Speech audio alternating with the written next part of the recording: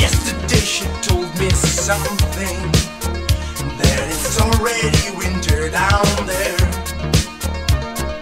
And I'm not there to warm her a little